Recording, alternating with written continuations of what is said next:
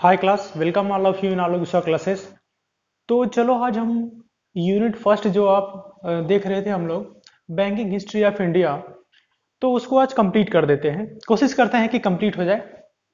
ठीक है? तो अब पिछले क्लास में हम हेडक्वार्टर्स ऑफ़ बैंक देखे थे, कुछ ट्रिक से हम याद किए थे। तो थोड़ा सा माइक का प्रॉब्लम था उसमें। अब इस क्लास में माइक का प्रॉब्लम नहीं रहेगा। वो वॉइस थोड़ा सा क्लियर भी नहीं था उस क्लास में। तो चलो हम स्टार्ट करते हैं आज। कि देखो अब अपने इंडिया में बैंक किस तरह से स्टार्ट हुए? जब बैंक नहीं था तो किस तरह से ये जो अब जो कमर्शियल चीज़ें होती थी वो किस तरह से होती थी? ठीक है? जैसे आप लोग जानते हैं बर्टर सिस्टम बर्टर सिस्टम क्या था? एक तरह का सिस्टम था जिसमें कि जैसे सामान कुछ है कुछ आपके पास जैसे कमोडिटी है हाँ, कुछ थिंग्स है आपके पास उसको अदला बदली करके क्या करते थे? जैसे किसी को चावल चाहिए तो गेहूँ देकर वो चावल ले लिया ना? जैसे कोई भी सामान खरीदना है तो एक दूसरा सामान दे के हम उसको एक्सचेंज करके ये सब चीज़ें मतलब जो भी अदला बदली करना है या किसी किसी को जिस चीज़ का रिक्वायरमेंट हो, दूसरे चीज़ के बदले हम क्या करते थे उसको एक्सचेंज कर लेते थे। यही बार्टर सिस्टम एक तरह से सिंपली यही बार्टर सिस्टम था। तो देखो यही था कि अपने इंडिया में जब बैंक नहीं था तो किस तरह से ये सब चीज़ें चलती थी? तो देखो यही है कि बर्टर देखो हम क्या स्टार्ट किए? बर्टर सिस्टम जब बैंक नहीं थे अपने इंडिया में तो क्या स्टार्ट किया हम बर्टर सिस्टम तो देखो बर्टर सिस्टम एक्चुअल में क्या था? Barter system initially in India जब बैंक नहीं थे तो अपने इंडिया में क्या था? बर्टर सिस्टम था। वो क्या था एक्चुअल में? एक्सचेंज ऑफ़ कॉमोडिटीज तो जो कॉमोडिटीज हमारे पास था, उसका एक्सचेंज करते। जैसे मैं बताया था कि हमारे पास राइस नहीं है तो राइस को हम किसके बदले? जैसे वीट हो गया, उसके बदले एक्सचेंज कर लेते थे किसी से। जैसे राइस चाहिए, दाल चाहिए, जो भी चीज़ चाहिए तो उसको हम किसी दूसरे कम्युनिटी के बदले क्या कर देते थे? एक्सचेंज कर लेते थे। तो इसको ही क्या बोलते थे? बर्डर सिस्टम बोलते थे, ठीक है? अब देखो क्या हुआ। अब अपने इंडिया में, तब उस टाइम जब बर्टर सिस्टम था तो क्या था? India was the country there was no banks अच्छा देखो एक्चुअल में ये सब चीज़ें पढ़ाने से पहले मैं बोल रहा हूँ कि जैसे इकोनॉमिक्स वगैरह की बात होती है इकोनॉमिक्स से ही एक्चुअल में बैंक चलता है, ठीक है? तो सब मैक्सिमम लोग यही मानते हैं कि जब इंडिया में अंग्रेज़ आए, उसके बाद ये सब चीज़ें स्टार्ट हुआ। लेकिन ऐसा नहीं है। कौटिल्य को अगर आप पढ़ोगे अर्थशास्त्र वगैरह तो देखना आप लोग कि ये सब चीज़ें कितने साल, हज़ारों साल पहले ही कौटिल्य ने अपने बुक में लिख दिया था, ना? कैसे कोई देश चलता है, क्या होता है, राज जो भी चीज़ें हैं अपने देश को चलाने के लिए इकोनॉमिक्स वगैरह जो है वो सब चीज़ें क्या बता देते? कौटिल्य ने बता देता पहले? लेकिन हमारे देश में अपने, वही बात है ना कि घर की मुर्गी जो भी है, साग बराबर होती है तो उस पर लोग ध्यान नहीं देते। दूसरे की चीज़ों को नकल करके उसको कॉपी कर लो। अच्छा देखो, अब ये है ना आत्मनिर्भर भारत बना रहे हैं। किस तरह से बना रहे हैं? सामान को बाहर से मंगा के, है ना? रॉ मटेरियल को बाहर बाहर से मंगा के अपने कंट्री में क्या कर रहे हैं? तो मतलब असेंबल कर रहे हैं उसको। तो इससे क्या आत्मनिर्भर भारत बनेगा? नहीं बनेगा। कभी बनेगा ही नहीं। हमारा जो लैंग्वेज है हिंदी और एक लैंग्वेज है चाइनीज़ आप लोग जानते हो? जितने भी प्रोग्रामिंग वगैरह होता है, जो भी चीज़ें होती हैं, सब क्या होता है? चाइनीज़ चाइना में चाइनीज़ लैंग्वेज में ही सारी प्रोग्रामिंग होती है। देख लो बैटरी भी जो आती है उस पर चाइनीज़ लैंग्वेज में लिखा रहता है। इंग्लिश नहीं लिखा रहता है। हम अपने लैंग्वेज को प्रमोट ही नहीं करते। अब बात तो इतनी हो गई है, पता आप लोग को, संस्कृत जो लैंग्वेज है, संस्कृत जो लैंग्वेज है, जो माना जाता है कि सभी लैंग्वेज जो निकली है, संस्कृत से ही निकली है। और संस्कृत, आप लोग को पता है कि संस्कृत बहुत बड़े बड़े सेंटेंस को एक सिंगल वर्ड में समझा सकता है। तो प्रोग्रामिंग क्या होता है? प्रोग्रामिंग ऐसी चीज़ है कि जितना सिंपल और छोटा लिखो आप प्रोग्राम उतना ही छोटा बनेगा और उतना ही बढ़िया तरीके से वो कोई सीख सकता है। तो अगर हमारे कंट्री में अगर हिंदी में चलो ठीक है, संस्कृत को ही प्रमोट कर दिया जाए तो कितना आगे जाएगा कंट्री बट कोई बात नहीं। अच्छा एक चीज़ और बता दो। तेजस, आप लोग को पता है, तेजस जो अपना, अपने कंट्री के द्वारा मैन्युफैक्चर किया जाता है, आप लोग को पता है और बोलते हैं कि हम स्वदेशी स्वदेशी है वो। बट प्रॉब्लम उसमें क्या है कि आज भी 70 से 75 परसेंट उसके जो कंपोनेंट्स है, वो मेड इन इंडिया नहीं है। वो बाहर बाहर से रॉ मटेरियल्स मंगाया जाता है और उससे बनाया जाता है। तो कैसे आत्मनिर्भर भारत बनेगा, ठीक है? चलो, आगे चलते हैं। तो the barter system was were privileged after the evident evident of British the need of bank arises देखो, जब ब्रिटिशर्स आए, अपने इंडिया ब्रिटिशर्स आए तो उस टाइम क्या था? बटर सिस्टम भी था। लेकिन जब वो आए तो वो बर्टर सिस्टम को क्या कर दिया? खत्म कर दिया। और उनको ये लगा कि अब हमें कुछ यहाँ पे जैसे बिज़नेस फैलाना है, कुछ एक्सपेंड करना है तो हमें सबसे पहले क्या करना चाहिए कि हमें बैंक को लाना चाहिए। ठीक है? अब देखो, अब क्या हुआ उसके बाद? With the help of Alexander and company तो ध्यान रखना, अपने इंडिया में सबसे पहले बैंक की जो शुरुआत हुई, वो किसके सहायता से हुई? अलेक्जेंडर एंड कंपनी ध्यान रखना Alexander and company Alexander and company made bank of Hindustan तो अपने इंडिया में सबसे पहले जो क्या बना? बैंक बना। उसका नाम क्या था? बैंक ऑफ़ हिंदुस्तान ठीक है? बैंक ऑफ़ हिंदुस्तान और किसने बनाया? अलेक्जेंडर एंड कंपनी आगे। अब कब बना देखो? ये भी इंपॉर्टेंट रहेगा कि बना कब? तो 1770 में 1770 में बना और कहाँ पे बना? कोलकाता। पहले इसका नाम कोलकाता था, कोलकाता। लेकिन अब कोलकाता है। तो अब पहला बैंक बनाया अलेक्जेंडर एंड कंपनी ने बैंक ऑफ़ हिंदुस्तान के नाम से और 1770 में और कहाँ पे बनवाया? कोलकाता में। अच्छा बैंक ऑफ़ हिंदुस्तान क्यों रखा नाम? क्योंकि अब जितने भी हिंदुस्तान के लोग उनको क्या करने के लिए अट्रैक्ट करने के लिए कि नाम ऐसा रखा जाए कि प्रभाव पड़े, इस कंट्री पे के लोगों के ऊपर प्रभाव पड़े। आगे देखो, अब कब बना था? सत्रह सौ में। अच्छा देखो, लेकिन ये बैंक क्या हो गया? लेकिन ये बैंक जो बैंक ऑफ़ हिंदुस्तान ये क्या हो गया? क्लोज हो गया। क्लोज क्यों हुआ? इसका बहुत बड़ा रीजन है कि जो लाइबिलिटीज दी जाती हैं, जैसे कि कुछ हिस्सा, ना, कुछ प्रभाव इंडियंस का इसमें रहना चाहिए, वो बिल्कुल यहाँ पे ना के बराबर था। बिल्कुल था ही नहीं ठीक है? तब ये भाई जब लॉस में चला जा, जाने लगा लोग इंटरेस्ट देना कम लग गए तो क्या हो गया? इसको बंद कर दिया गया। इसको बंद करने के बाद तीन बैंक खोले गए। और तीनों बैंक कहाँ पे थे? प्रेसिडेंसी में थे।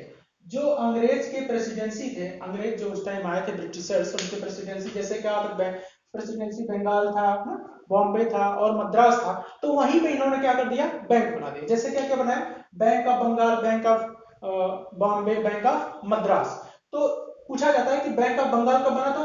1806 में। 1840 में क्या बना? Bank of Bombay. और 1843 में बना बैंक ऑफ़ मद्रास। ठीक है? ये बाद में बाकी आगे जाके क्या बना? Bank of imperial bank of India, उसके बाद एसबीआई बना, उसको तो आगे देखेंगे।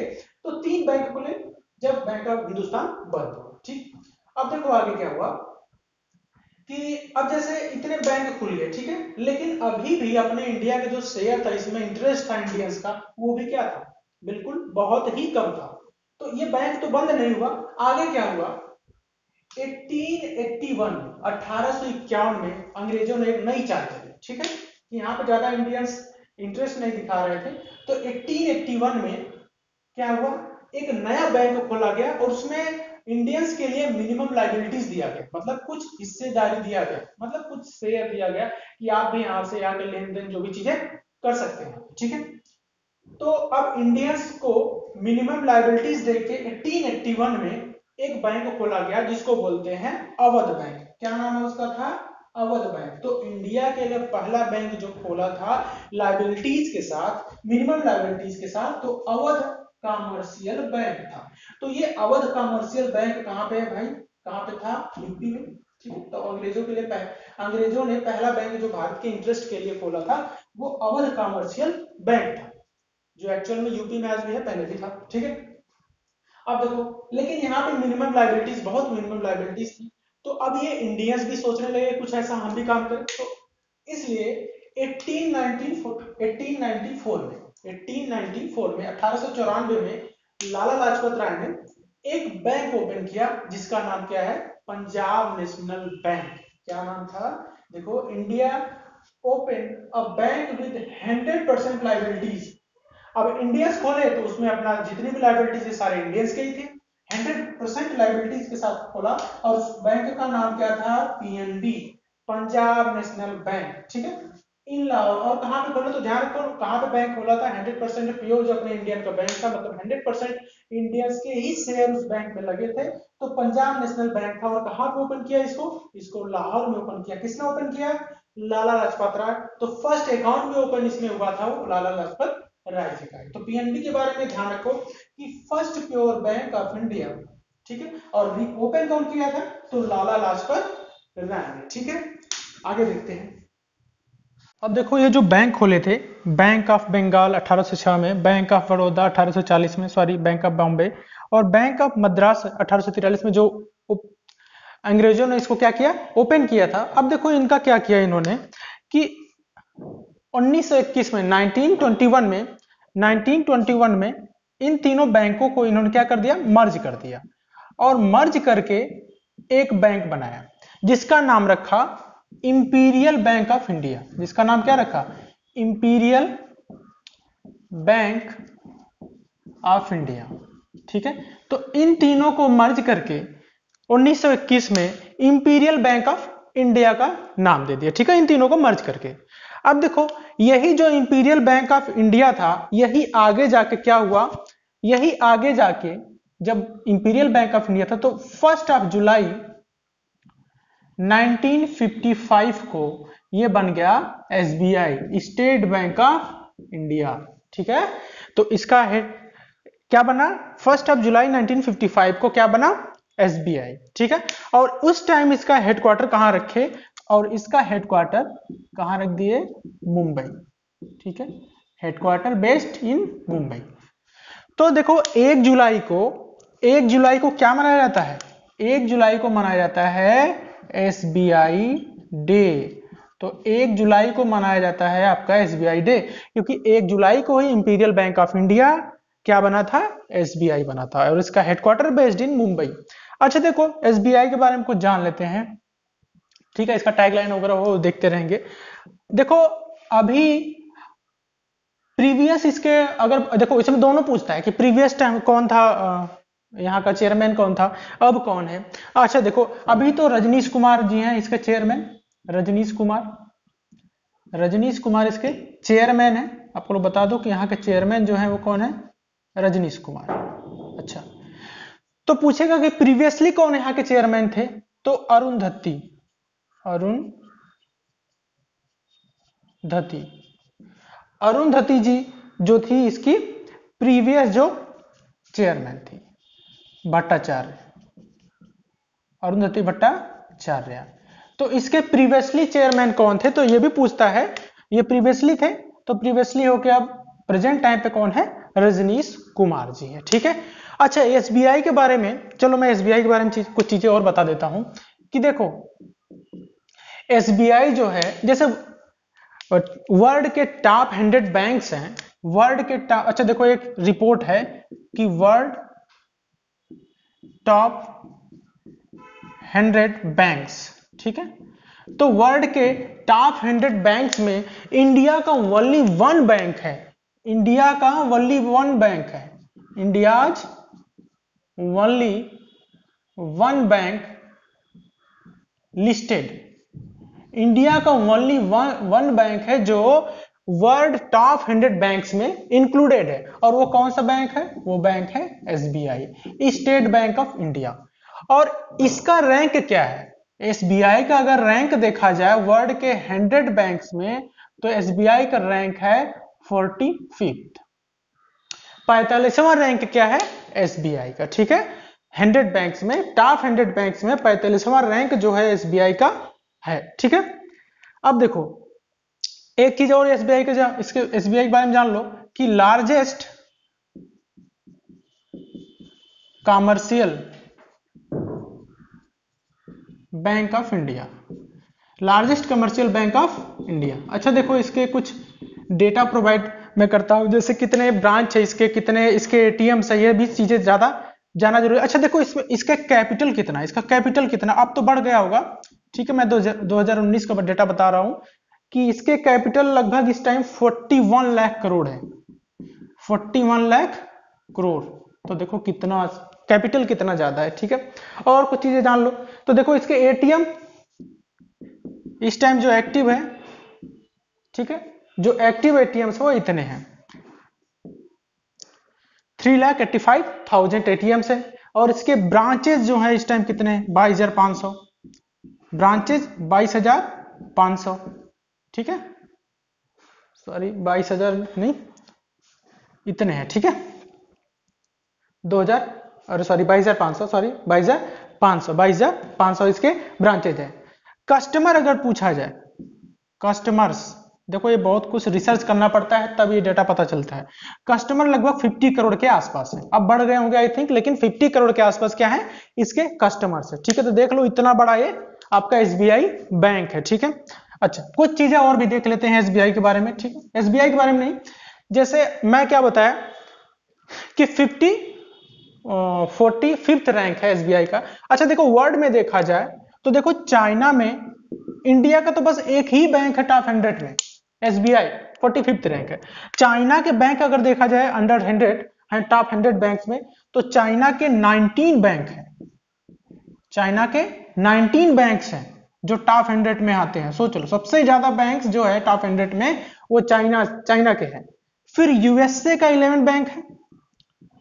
किसका? यूएसए यूएसए का दूसरा नंबर है। फिर उसके बाद फ्रांस है। ठीक है? फ्रांस के कितने बैंक नौ बैंक है। टॉप थ्री देख लो। इंडिया का तो भाई इंडिया का तो ओनली वन बैंक है। इंडिया का only one bank one bank और इसका नाम क्या है? एसबीआई और किस रैंक पे है? Forty fifth rank.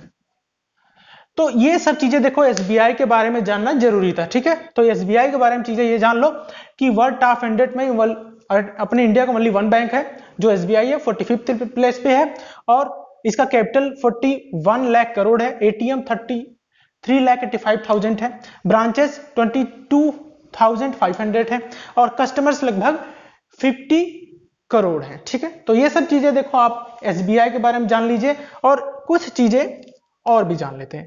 जैसे देखो, एसबीआई ने एक देखो योनो कैश करके एक एक एप्लीकेशन लॉन्च किया था, एसबीआई ने। लॉन्च्ड एन एप्लीकेशन एक एप्लीकेशन लॉन्च किया था, ठीक है? ऐप जिसको बोलते हैं उसका नाम क्या था? उसका नाम था मिंगल। मिंगल। तो ध्यान रखो, आपसे पूछा जाएगा कि एसबीआई ने पूछा जाएगा कि मिंगल जो एप्लीकेशन था, कौन लॉन्च किया था और कब लॉन्च किया था? तो ये लॉन्च किया था 2016 में मिंगल ऐप। और कौन लॉन्च किया? एसबीआई ने। और कब लॉन्च किया पूछा जाए तो 2016 में। तो ध्यान रखो एसबीआई के बारे में इतनी सारी चीज़ें आपको पता रहना ज़रूरी है। चलो आगे देखते हैं। तो चलो आगे देखते हैं। एसबीआई के बारे में कुछ चीज़ें और देख लेते हैं। देखो, पहले तो मैं बताया था कि फोर्टी फिफ्थ रैंक है, इसका टॉप हंड्रेड में है इंटरनेशनल बैंक्स में। फोर्टी फिफ्थ रैंक है उसमें। Largest commercial bank of India है। पुराना नाम इसका इंपीरियल बैंक ऑफ़ इंडिया था, ठीक है? और इंपीरियल बैंक ऑफ़ इंडिया किससे किससे मिलकर बना था? Bank of Bengal bank of Bombay bank of Madras ठीक है? आगे चलो। अच्छा एक चीज़ देखो, मैं बोला था जो एसबीआई ने एक मिंगल एप्लीकेशन लॉन्च किया था, मिंगल। मिंगल। सिंगल मिंगल मत समझो, वो मिंगल नहीं है, ठीक है? ठीक है? इंसान एक्चुअल में कितने भी उसके मतलब आसपास कितने लोग भी रहें, वो हमेशा अकेला ही रहता है, ठीक है? ऐसा नहीं है कि सारे साथ हैं, आसपास हैं तो वो अकेला नहीं है। कभी कभी आप लोग को खुद लगेगा, देखिए मैं कौन सी चीज़ बातें कर रहा हूँ, आपके पास अगर ज्ञान रहेगा तो आप किसी भी स्थिति में रह सकते हैं, ठीक है? अगर आपके पास ज्ञान नहीं है तो बड़ा मुश्किल हो जाएगा, क्योंकि सोसाइटी ऐसी बनती जा रही है, ठीक है? चलो, मिंगल का मतलब क्या है? अब देखो, मिंगल ये एप्लीकेशन लॉन्च किया। तो देखो, ये जैसे फेसबुक और हमारा ट्विटर है, उसी तरह से इसने क्या लॉन्च किया? मिंगल एप्लीकेशन लॉन्च किया था। जैसे कि कम्युनिकेशन के लिए एस बैंक से ये सब मिंगल ऐप लॉन्च किया था लोन वगैरह के लिए। जैसा लोन वगैरह की बात करनी है तो मिंगल से हम जाके बात कर सकते हैं, ठीक है? एस के साइट पे ये मिल जाएगा। आगे देखो एसबीआई ने और भी सारी चीज़ें की। जैसे एस ने लॉन्च किया योनो कैश। देखो, योनो कैश में क्या होता है? हम जब योनो कैश में रजिस्ट्रेशन कराएँगे तो क्या होगा? इसमें सिक्स डिजिट का एक नंबर मिलेगा, जिसे रजिस्ट्रेशन नंबर कहते हैं। Six digit registration number. जैसे हम क्या करते हैं कि एटीएम जाते हैं तो फोर डिजिट का पिन डालते हैं। एटीएम डालने के बाद फोर डिजिट का अपना जो पिन डालते हैं, पासवर्ड जिसे बोलते हैं तो उससे कैश निकलता है। उसी तरह से सिक्स डिजिट का आपको रजिस्ट्रेशन जो पिन मिलेगा, जो कोड मिलेगा, नंबर मिलेगा, उससे क्या करेंगे हम? बिना एटीएम के कैश हम निकाल सकते हैं। बिना एटीएम कार्ड के हम कैश निकाल सकते हैं। तो देखो क्या है, योनो कैश का फ़ायदा कि कैश विदाउट एटीएम बिना एटीएम कार्ड के हम क्या निकाल सकते हैं? कैश निकाल सकते हैं। तो योनो कैश कौन लॉन्च किया? एसबीआई देखो एस बी आई लॉन्चेज अभी आगे कुछ और भी मतलब इसने एप्लीकेशन लॉन्च किया तो उसको मैं बताऊँगा। S B I launches chat bot for any type of loan for from S B I तो एस बी आई से एनी टाइप किसी भी टाइप का अगर हमें लोन पाना है तो उसके लिए चैट बॉट लॉन्च कौन किया? एसबीआई तो इसको, इस चैट बॉट का नाम क्या था? SIA SIA S I S SIA अच्छा सिया को कौन बनाया? तो सिया को बनाया पाजो एक कंपनी है जो अमेरिकन बेस्ड है। तो अमेरिकन बेस्ड कंपनी है जिसको सिया सिया को बनाया, और सिया क्या है? चैट बॉट है किसका? एसबीआई का। अच्छा इसको क्या बोलते हैं? सिया को? SBI intelligent assistant SBI intelligent assistant ठीक है? अच्छा एसबीआई ने इस तरह का, देखो, एक तरह का रोबोटिक समझ लो। रोबोट की तरह ये है चैटबॉट जो है। अच्छा देखो, अगर पूछा जाए कि इंडिया में फ़र्स्ट कौन सा बैंक था जिसने रोबोट लॉन्च किया अपना? तो देखो इंडिया फ़र्स्ट बैंकिंग रोबोट तो उसका नाम क्या था? लक्ष्मी देखो लक्ष्मी बैंक में पैसा होता है और लक्ष्मी रोबोट का नाम था। पहला जो रोबोट था इंडिया का, और उसका नाम क्या था? लक्ष्मी और कौन लॉन्च किया सिटी यूनियन बैंक चेन्नई में जो है। सिटी यूनियन बैंक चेन्नई में। देखो ये ह्यूमनाइड रोबोट था। ह्यूमनाइड रोबोट, लक्ष्मी, और कौन लॉन्च किया? City union bank based in Chennai. आगे देखो। सिटी यूनियन बैंक ने पहला रोबोट लॉन्च किया जिसका नाम लक्ष्मी था, और ये ह्यूमनाइड रोबोट था। अच्छा देखो आप एच बैंक ने भी उसके बाद लॉन्च किया एक रोबोट। तो दो रोबोट लॉन्च किया इसने। एक था ईवा और एक था ईरा। देखो, ईवा का पूछता है फुल फॉर्म तो ईरा का फुल फॉर्म होता है ईवा का electronic virtual assistant EVA E for electronic V for virtual A for assistant तो देखो E for electronic V for virtual A for assistant तो एक रोबोट था ईवा, जो क्या था? डिजिटल रोबोट ईवा जो रोबोट था, वो डिजिटल रोबोट था और ईरा जो था, वो क्या था? ह्यूमनाइट रोबोट तो ध्यान रखना एच ने दो रोबोट लॉन्च किए EVA and IRA electronic virtual assistant and IRA humanoid robot EVA a digital robot आगे देखो आईसीआईसीआई बैंक इसने एक रोबोट लॉन्च किया जिसका नाम था पे गो पे गो पी ए वाई जी ओ पे गो और ये किस टाइप का रोबोट था? ह्यूमनाइड रोबोट देखो, ये सब चीज़ें भी जानना ज़रूरी है, ठीक है? जो करंट न्यूज़ रहता है, वही बैंक के पेपर में ज़्यादा आता है, ठीक है? तो आईसीआई बैंक ने पेगो लॉन्च किया। अभी भी जो नए नए ऐप लॉन्च हुए हैं, उसको मैं अभी बता दूँगा। थोड़ा सा 2019 का है, इसको भी जानना ज़रूरी है, ठीक? एस बैंक ने लॉन्च किया, देखो पे बॉट एस बैंक ने लॉन्च किया कौन सा रोबोट पे बॉट तो देखो एस बैंक ने एक और सी चीज़ लॉन्च की है। अभी एस बैंक तो बहुत घाटे में चल रहा है, बहुत लॉस हो गया इसको, ठीक है? एस बैंक ने एक ऐप बनाया था, इसका नाम क्या था? फ़ोन पे ठीक है? अभी एक्चुअली उसको कोई और एक्सिस बैंक शायद उसको क्या कर लिया है? टेक ओवर कर लिया है लेकिन एस, एस बैंक ने लॉन्च किया था फ़ोन पे ठीक है? इतनी सारी चीज़ें आज देख लेते हैं आई थिंक फ़र्स्ट यूनिट का वो खत्म नहीं हो पाया लेकिन कल के लेक्चर में आपका first unit banking history of India खत्म हो जाएगा। तो आप लोग को क्लास कैसी लगी? ज़रूर कमेंट करें। देखो थोड़ा बहुत प्रॉब्लम तो हर चीज़ हर जगह होती है तो थोड़ा सा उसको आप लोग हैंडल करो। बाकी जैसे जैसे मैं पढ़ाता जाऊँगा वैसे वैसे मैं खुद को इंप्रूव करता जाऊँगा ठीक है? जैसे क्वालिटी हो गया कभी वॉइस नहीं आ रही कभी वॉइस आ रही अच्छी तो, तो कभी कभी थोड़ी प्रॉब्लम हो जाती है लाइट थोड़ा नहीं कभी सही है। तो चलो नेक्स्ट क्लास में ये सब चीज़ें डिस्कस करेंगे आगे इसके। Thank you class